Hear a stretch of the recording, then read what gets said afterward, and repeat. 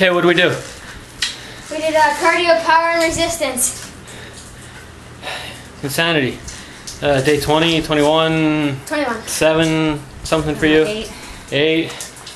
So, there's Eh, my two workout partners. Both dripping. Myself dripping.